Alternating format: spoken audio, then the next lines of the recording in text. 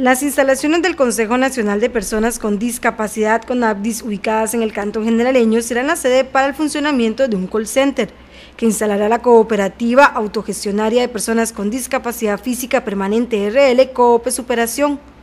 Para este proceso, el Departamento de Financiamiento del Instituto de Fomento Cooperativo hizo entrega de fondos no reembolsables por un monto de 4 millones de colones a la cooperativa, estos recursos fueron utilizados para comprar 20 computadoras para capacitar al personal de la nueva oficina, que estará abriendo en Pérez Celedón para la operación de un centro de llamadas. Dar mayor apertura a las personas que, vienen a, recibir los, servicios que nosotros ofrecemos y también ahora por ejemplo estamos eh, trabajando con una capacitación para personas con discapacidad y pronto vamos a hacer un call center en una cooperación con el, ICE, eh, COPE, Superación, que es una asociación de personas con discapacidad.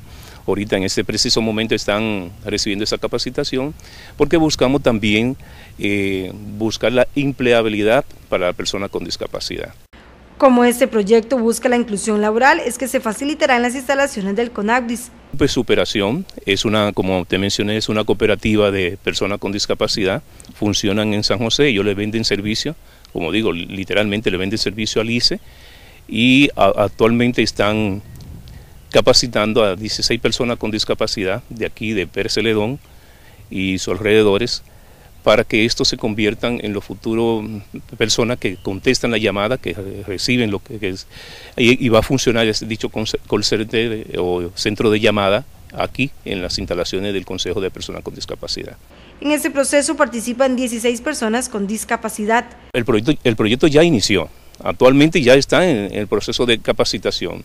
De hecho, hay una serie de negociaciones y de, de convenio con el ICE que está haciendo COPE Superación con el ICE y nosotros como parte de, este proyecto facilitamos las instalaciones de, del Consejo Nacional de la Persona con Discapacidad. Actualmente se lleva a cabo un proceso de capacitación. Ya hay un área dispuesta y hay una oficina actualmente donde ellos están recibiendo la capacitación. Ya tienen más de dos meses eh, en esta capacitación. ¿Ellos van a recibir ingresos por esto? Obvio, ellos van a ser funcionarios de COPE Superación y le van a vender servicios específicamente al ICE. De hecho, ellos lo hacen con, con, otro call que funciona en el área metropolitana y eh, esperamos que también funcione aquí en Pérez Celedón. En el CONACDI se esperan que con este proyecto se abran más oportunidades a la población con discapacidad.